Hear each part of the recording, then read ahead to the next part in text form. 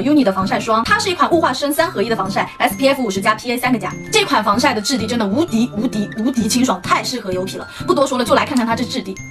大家就看它这个流动性，哇哦，真的跟乳液一样。抹开之后可以说三秒钟就能成膜了。